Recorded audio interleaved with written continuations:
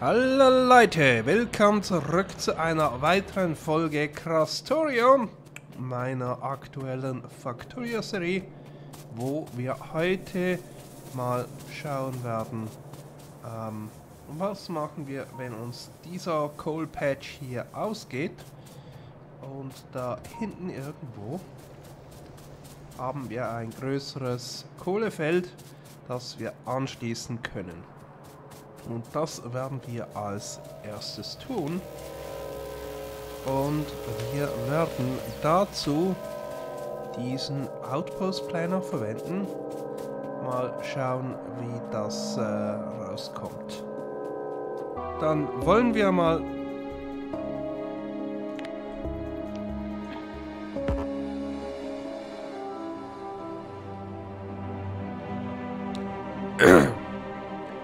Dann wollen wir mal schauen, wie wir unseren Outpost planen.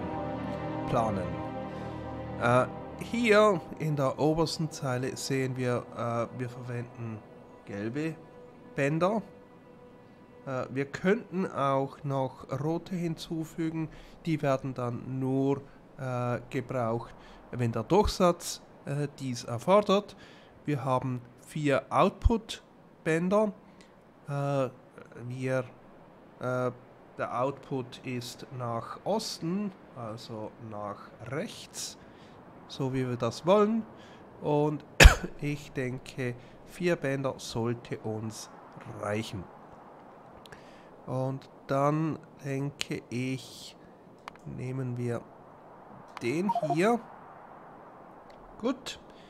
Und das, was wir jetzt noch brauchen, ist äh, hier unten. Ähm, brauchen wir den Outpost Planner. Ähm, und da brauchen wir nicht alles. Ähm, denn kopieren können wir auch äh, mit Shortkeys. Und dann können wir einfach mal so darüber ziehen und dann wird das Ganze geplant. Das ist ein, äh, ein Blueprint ähm, und da wir ja noch keine, keine Bots haben, ähm, müssen wir das Ganze selbst bauen. Aber hm, ich möchte eigentlich kleine hölzige äh, Power Poles verwenden. Ähm ja, da muss ich das hier verändern. Und dann probieren wir das Ganze nochmals.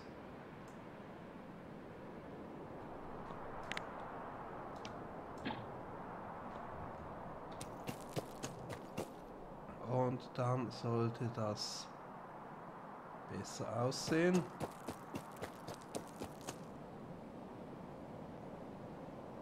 Und da unten noch und dann werden die Bänder so zusammengemercht, dass wir am Schluss vier Ausgangsbänder haben. Okay, hier oben haben wir einige zu viel.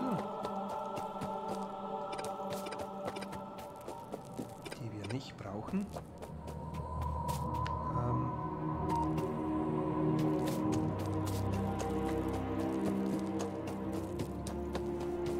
Hier in der Mitte scheinen sie zu fehlen. Aber zumindest das Layout, das haben wir. Und wenn ich mir jetzt ein paar Förderer hole, ähm, dann kann ich das auch in die Tat umsetzen. Eine gefühlte halbe Ewigkeit später sind auch die letzten meiner hier platziert.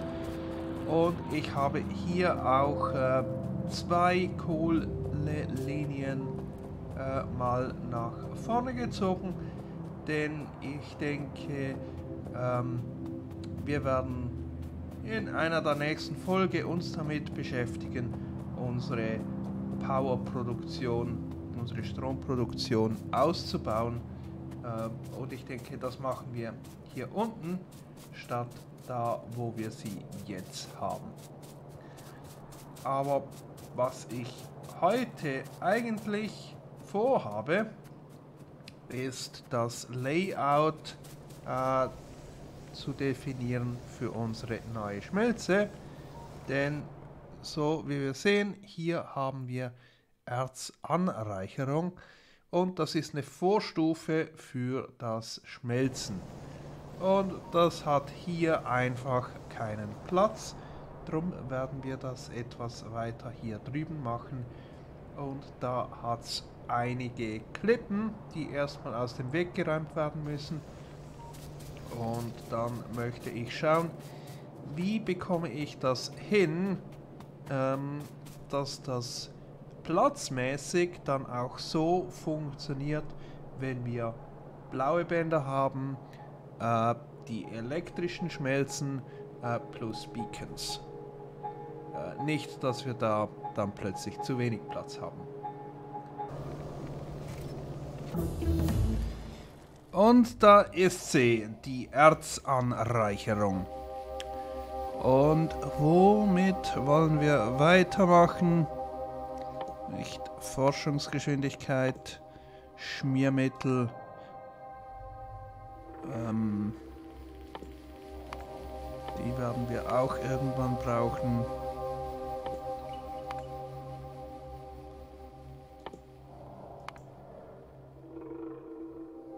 Raketen, warum nicht? Gut. Ich habe hier die Klippen weggeräumt und etwas ausgeholzt. Und hier werden wir auch die äh, neuen Schmelzen bauen, denn in dem Zwischenteil hier, da wollen wir ja noch einen Bahnhof hinhaben, wo wir die äh, ähm, Inputmaterialien ähm, für unseren Bus reinbekommen. Könnte jetzt auch ein bisschen näher da sein, weil die Schmelzen kommen dann ja weg. Aber äh, machen wir das mal weit genug außen. Und wenn wir das mal planen, dann planen wir mal mit Eisen. Gut. Und hier nehmen wir die Öfen. Entschuldigung. Ah, da gibt es sogar noch eine weitere Stufe. Ähm in die Öfen packen wir äh, Produktivitätsmodule rein ähm, und dann Effektverteiler. Die machen wir mit ähm, Produktivitätsmodulen, äh, Geschwindigkeitsmodulen.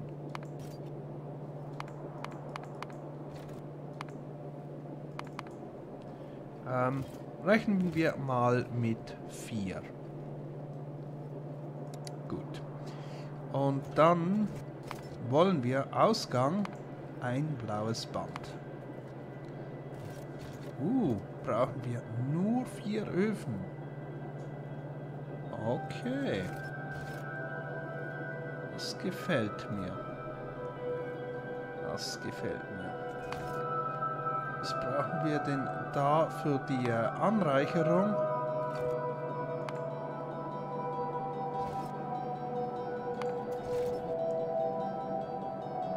Chemiefabrik 17. hier wieder äh, Produktivitätsmodule rein. Und Beacons. Okay, dann sind wir gar nicht mehr bei so viel. Und wir werden das Ganze mit den fortschrittlichen Öfen hier machen. Denn warum nicht?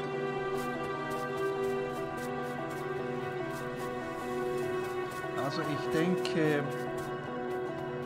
da werden wir gar nicht allzu viel Platz brauchen. Weniger als unser äh, Ofenarray von 24 Öfen, wenn wir das Ganze ohne Beacons machen wollen. Nun gut, denn ähm, bin ich hier etwas zu hoch.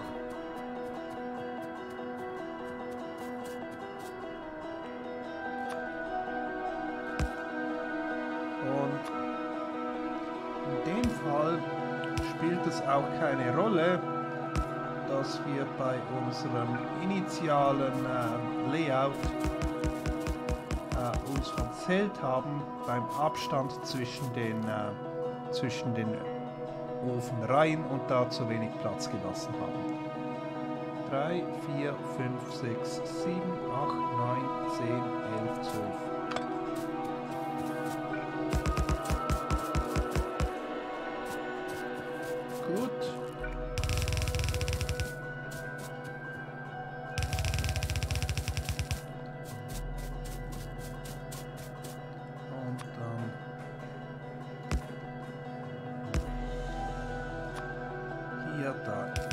input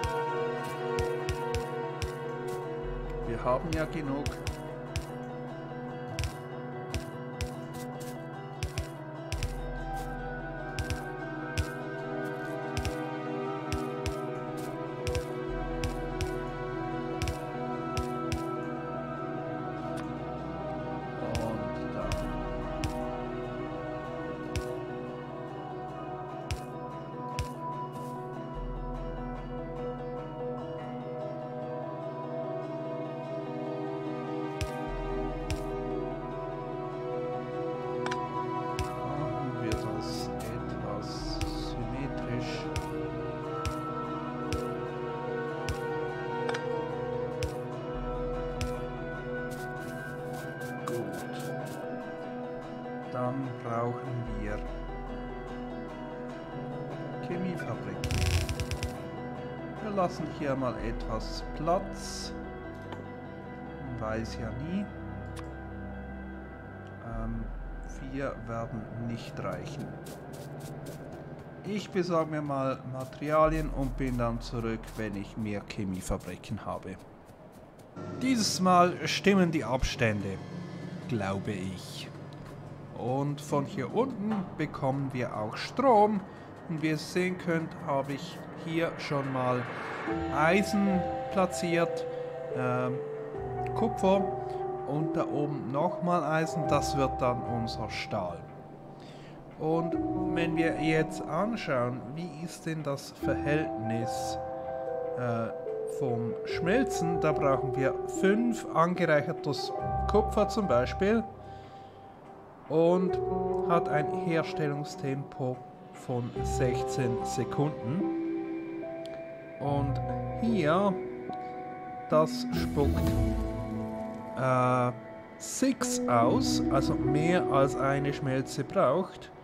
Ähm, und das alle 3 Sekunden. Also das heißt, wir brauchen weniger Chemiefabriken, als wir äh, Öfen haben. Drum denke ich, machen wir 6 oder 8. Machen wir 8. Was wir hier auch brauchen, ist Schwefelsäure. Also, dann versuchen wir hier mal ein Layout zu finden, das funktioniert. Ähm, wir brauchen zwei, zwei Bänder, eines für den Input, eines für den Output. Ähm,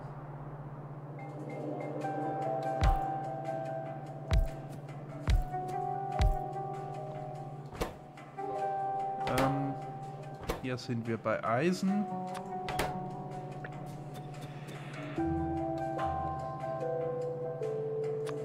Dann nehmen wir immer zwei zusammen.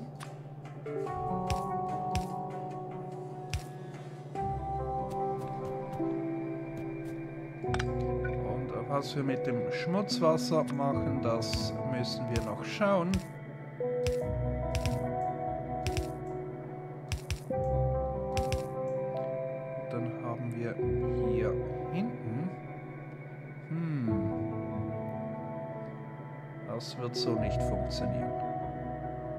Das wird so nicht, weil wir brauchen Eingang und Ausgang und hier haben wir nur einen, einen Platz frei.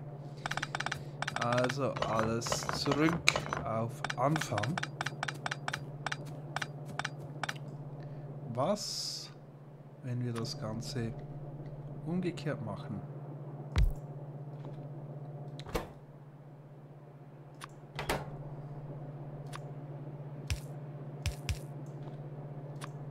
Dann haben wir sowas. Nee, das funktioniert auch nicht.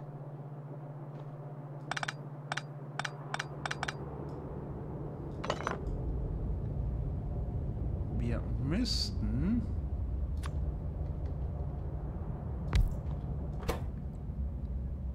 das wahrscheinlich so machen.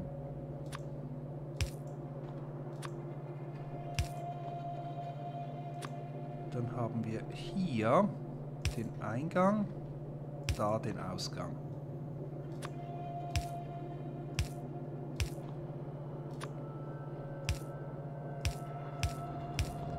Ja, so könnte es klappen.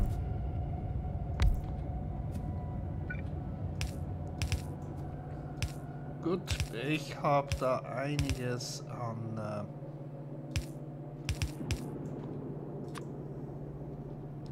an äh, Bauten vor mir. Will euch damit nicht langweilen. Und am Schluss müssen wir schauen, wo wir denn Schwefelsäure herbekommen.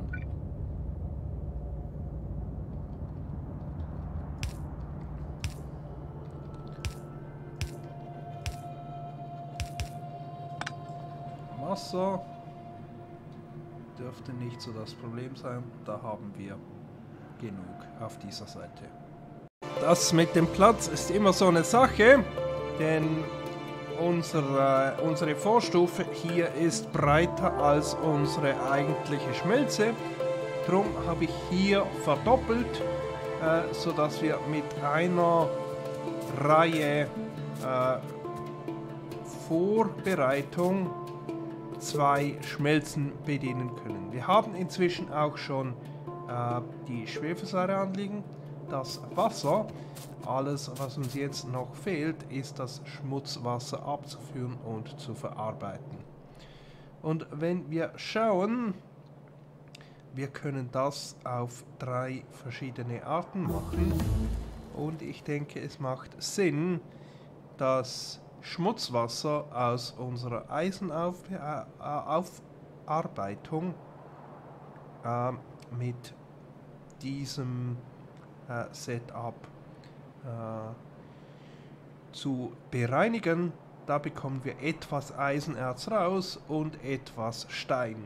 Und Stein werden wir dann hier oben, wie wir es da drüben haben, weiterverarbeiten. Für Stein brauchen wir ja keine Vorstufe, aber ähm, wir brauchen andere, äh, wir brauchen keine Verfeinerung, aber äh, äh, zumindest für Sand und äh, Silikon brauchen wir andere äh, Vorstufen davon. Gut, ähm, wo machen wir das? In einer Filtrieranlage. Wir bekommen hier 25 Schmutzwasser raus in 9 Sekunden. Ähm, und äh, eine Filtrieranlage ähm, kann 100 Wasser in 2 Sekunden äh, bereinigen. Ich denke, da brauchen wir zwei, maximal vier und die werden wir... Ach, ich baue mal rasch die Filtrieranlagen und dann zeige ich es euch. Und so sieht das Reinigungssystem aus. Nicht sehr kompliziert. Hier vier Filtrieranlagen. In der Mitte kommt das Schmutzwasser raus. Oben geht das saubere Wasser raus. Und hier müssen wir einfach sicherstellen, dass die Erze und die Steine, die wir rauslegen, dass die Priorität haben vor dem, was wir hier auf dem Bus von rechts bekommen. Und Stein äh, geben wir dann hier auf dieser Seite nach oben. Äh, zudem haben wir hier eine Pumpe, welche sicherstellt, dass äh, wir nur Wasser reinpumpen, äh, wenn wir hier in diesem Tank zu wenig haben. Das ist auf 20.000 äh, Liter beschränkt. Und nun liegt es an mir, das Ganze auch nochmals für Kupfer zu machen und dann hier oben für Stahl. Und für Stahl brauchen wir dann auch noch Koks für die zweite, für die zweite äh, Stufe der Verarbeitung. Ich denke, das mache ich bis nächstes Mal und dann können wir uns in der nächsten Folge um die Steinverarbeitung kümmern, die dann da oben drüber hinkommt. Also bis dann und tschüss.